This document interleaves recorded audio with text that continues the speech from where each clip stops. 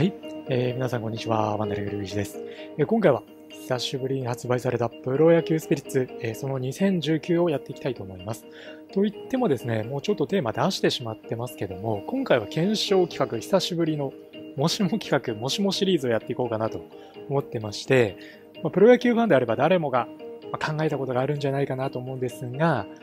巨人に広島から移籍した丸がもしカープに残留していたら、広島は4連覇することができていたのかというのをですね、プロ野球スピリッツ2019のペナントレースモードを使って確認していきたいと思います。で、今、えー、プロ野球のセリーグ順位なんですけども、これ7月17日時点のものを今お出ししてますが、まあ、1位巨人で、広島はというと、現在5位なんですね。しかもヤクルトに関して言うと、もう大連敗があったので、まあ、その影響もあって、このヤクルト6位というのがあると思うんですけども、それを除けば、広島、丸を失った傷跡は大きいのかなという第5位につけている状態なんですね。なので、ここはね、ちょっとしっかり確認をしていきたいと思います。で、広島に移籍した丸、巨人が、もし残留した場合、つまり広島の丸のままだった時を想定して、えー、検証の方やっていきます。なので、えっと、もう単純に丸と長野を入れ替えるだけで、他の戦力はそのままということなので、まあ、丸の影響をね、確認していきましょうということで、今、丸と長野の能力出してますけども、やっぱり打撃に関して言うと、丸の方が、まあ、一回りも、あるいは二回りも、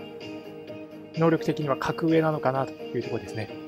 で、打撃の傾向なんかは、プロ野球スピリッツ2019のデータを見る限り、え丸が左打者、で、長野が右打者という点を考慮した場合はですね、もうほぼほぼ打撃の傾向は同じです。まあ、単純に能力がどうのこうのっていう部分はあるんですが、もう完全に、えー、打撃の傾向は同じ。その丸と長野を入れ替えるという形になります。で、広島のオーダーの方なんですけども、もう、プロ野球スピリッツ年中9で設定されている広島のオーダー。ここに3番丸を入れただけです、変更点は。西川から丸に変更しただけ。この状態で確認をやっていきます。でルールの方は今画面の方にお出ししますが、検証のため、今回はね、怪我や成長とか、ああるいはトレード、新外国人の、まあ、入団とかっていったものは全て排除しています。えでは、早速検証の方を見ていきましょう。オートペナントレースで回していきます。ここからね、えー、始まっていっていますが、まず開幕に関して言うと、まあ、広島無難なスタートを切っているのかなっていうところですね。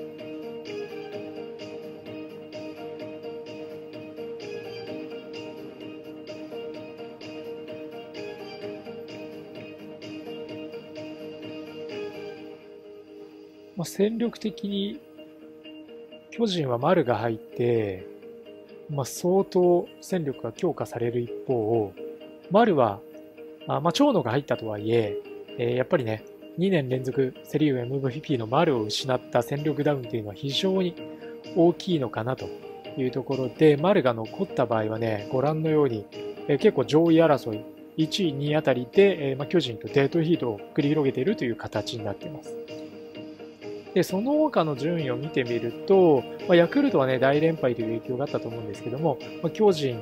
えあるいはあベイスターズ、えー、このあたりが上位に入っていて、まあ、今のペナントのね、えー、まあ、内容というか、結果を、ある意味で、このプロ野球スピリッツ2019のペナントレース、オートモードで回すと、反映されてるっていうのは、プロ野球スピリッツ2019のデータが、えー、それなりに、というかかなり信頼できるものになっているんじゃないかなっていう、まあ、裏付けにもね、え今回なったのかなと思ってます。広島、現在5位に甘んじてますけども、1位巨人、2位ベイスターズっていうあたりはね、えー、本当に今のリアルなペナントレースを反映した形になってるんじゃないかなと思います。で、ここから、あのー、今ご覧いただいているのが、いわゆる交流戦ですね。パリーグとの戦いをご覧いただいています。交流戦の、まあ、好調さというか、その結果次第で、で後半戦にね、少なからず影響が出るっていうのが、まあ、最近のこの交流戦の傾向だと思うんですけども、まあ、この交流戦も広島としては割と無難に、えー、まあ、五分五分で乗り切っているのかなというところかなと思います。このペナントレース、オートペナントモードで見ているとね。で、首位、ベイスターズと3ゲーム差でスタートして、えー、後半戦の方に入っていってるという状態です。7月に入っても首位ベイスターズと3ゲーム差の第3位。割と、あのー、セリーグの方は混戦なのかなと。で、一方、パリーグの方ちらっと目をやると、まあ、首位から最下位まで16ゲーム差とだいぶ差が開いてしまっているかなというふうに思います。で、今7月17日時点の、まあ、リアルなね、えー、プロ野球、えー、ペナントレースの順位表お出ししてますけども、上位、巨人、えー、ベースターズあたりはかなり当たっている検証になっているんじゃないかなと思います。この辺りになってくると A クラス、B クラスという意味ではほぼ固定化されてきたのかなという感じはしますよね。A クラスはあ広島、巨人、横浜。この辺りがね、A クラスをほぼ確定させている状況かなと思います。で、首位争いの方なんですが、あまあ、僅差でね、広島が巨人を追うという展開が、まあ、ずっと続いていきます。で一方、残り試合の方は画面の左下の方に出てますけども、残り20試合を切ってきたというところですね。まあ、A クラス、巨人、横浜、広島がデッドヒートを繰り広げている。でパ・リーグの方はもう楽天かソフトバンクかでほぼ決まりという展開のように見えます。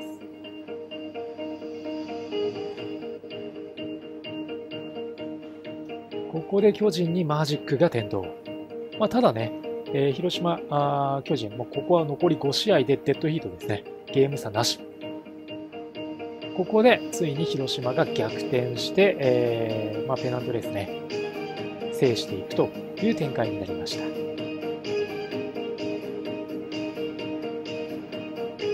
た。はい。というわけで、あのー、まあ、実はこれ5回やった結果、1位が2回、2位が2回、3位が1回という結果でした。なので、あのー、少なくとも今の B クラスっていうリアルなペナントレースの結果にはならずに、広島に丸が残留した場合はね、もうちょっと上位に入っているというのがこのプロ野球スピリッツ2019年のね、えー、検証結果になりました。最後に、まあ、ちょっとおまけにはなりますが、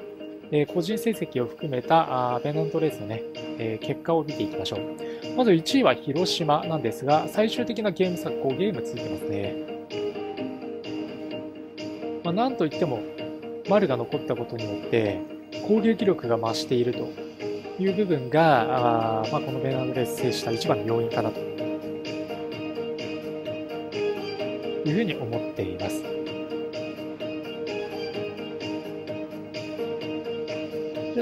いては個人タイトル見ていきましょう。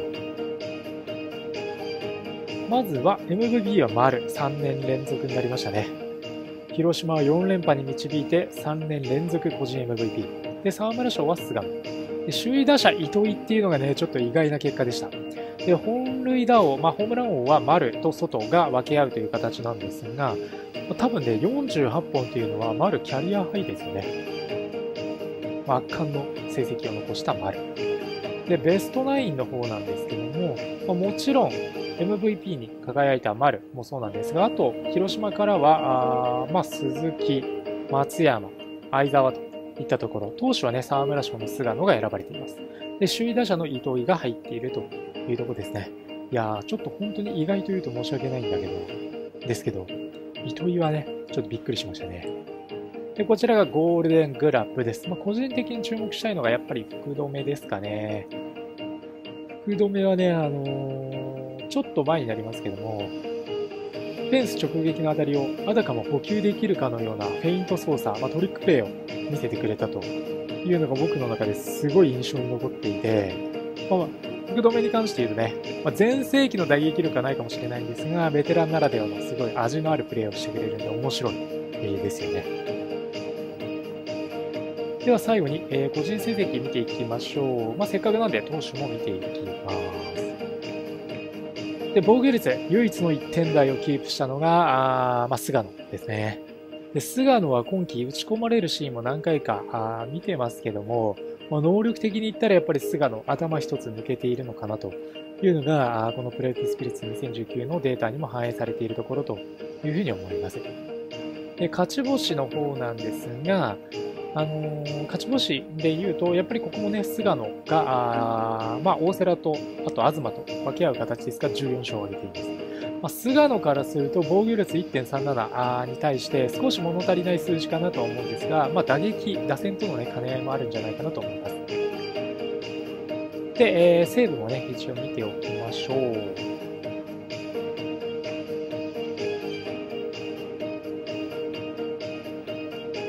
で、ここは野手部門ですね。続いて、打撃3部門を見ていきます。まずは首位打者。まあ、これ本当に申し訳ない言い方になるんですが、意外や意外、糸井ですね。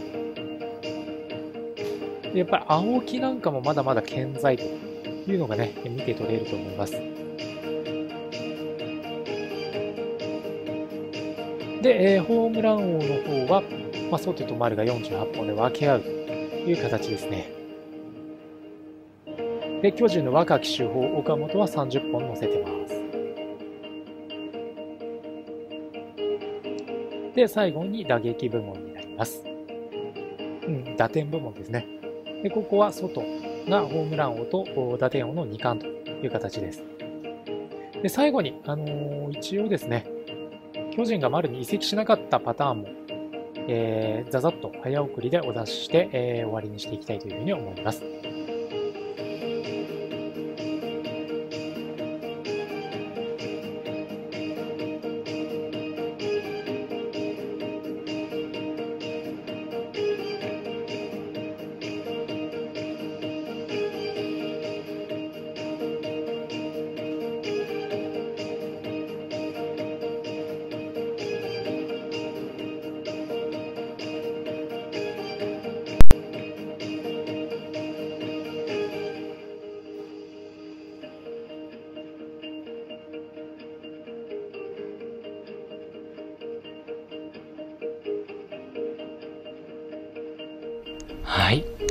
えー、ご視聴ありがとうございました。この動画が面白いと思った方はチャンネルの登録をお願いいたします。